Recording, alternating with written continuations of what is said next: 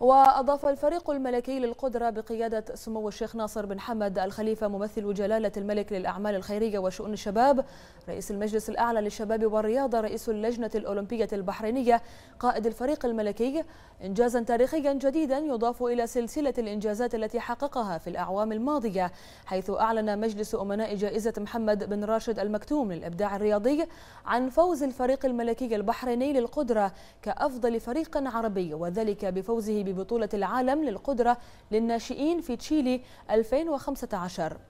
وبهذه المناسبة أكد سمو الشيخ ناصر بن حمد الخليفة أن الإنجاز الجديد الذي حققه الفريق الملكي للقدرة بفوزه بجائزة أفضل فريق عربي هو نتاج للدعم الكبير الذي يقدمه حضرة صاحب الجلالة الملك حمد بن عيسى الخليفة عاهل البلاد المفدى للحركة الرياضية في المملكة والتي تحظى بمتابعة مباشرة ومستمرة من قبل جلالته الحريص دوما على الوقوف إلى جانب فرسان المملكة في مختلف البطولات لرفع معنوياتهم وبث روح الحماس فيهم من أجل تحقيق الإنجازات باسم المملكة الأمر الذي ساهم في بلوغ رياضة القدرة لمستويات رفيعة على المستوى العالمي مشيدا سموه بالدعم الكبير الذي يقدمه صاحب السمو الملكي الأمير خليفة بن سلمان الخليفة رئيس الوزراء الموقر للرياضة البحرينية والاهتمام من قبل صاحب السمو الملكي الأمير سلمان بن حمد الخليفة ولي العهد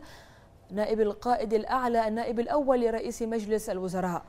وأشار سمو الشيخ ناصر بن حمد الخليفة إلى فخره واعتزازه بفوز الفريق الملكي بجائزة تحمل اسما غاليا على الجميع وهو صاحب السمو الشيخ محمد بن راشد المكتوم نائب رئيس دولة الإمارات العربية المتحدة ورئيس مجلس الوزراء حاكم دبي الذي يحرص دائما على ترسيخ مبادئ الابتكار والإبداع والتميز بمختلف المؤسسات وخاصة الرياضية منها مؤكدا في ذات الوقت على أهمية جائزة محمد بن راشد باعتبارها من الجوائز التي تتخطى الحدود العربية لتصل إلى العالمية وتحظى بمصداقية كبيرة في الأوساط الرياضية.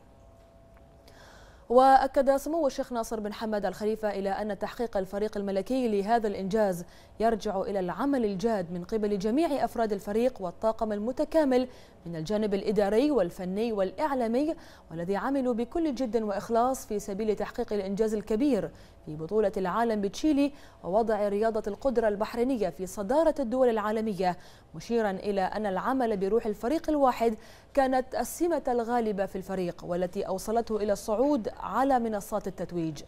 وكشف سمو الشيخ ناصر بن حمد الخليفة المضي قدما في وضع الخطط والاستراتيجيات قريبة المدى والبعيدة التي تضمن للفريق استمرارية النجاحات على المستوى العالمي وذلك انطلاقا من الاستراتيجية التي تم اعتمادها الهادفة إلى رعاية الفرسان ودعم المواهب من الفرسان لتهيئة الأرضية المناسبة لهم من أجل الوصول إلى تحقيق أهداف الفريق وتأكيد ما وصلت إليه رياضة القدرة البحرينية من تطور ونماء.